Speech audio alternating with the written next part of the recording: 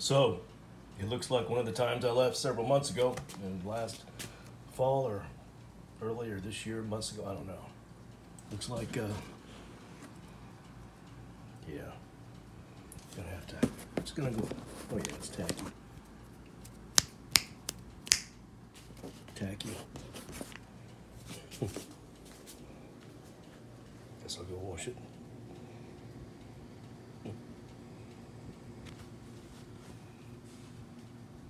That's what I'm going to expect when I start leaving again. I'm not staying trapped. Not rich, don't have hardly any money, but when I do start leaving, no matter how I do that, on foot with somebody else in my truck, unless they destroy it, yeah, I'm just gonna wash it. I usually lock everything up. Must have forgot it one time. Easy to do when you're being gassed with shit that destroys your memory. Easy to fucking do.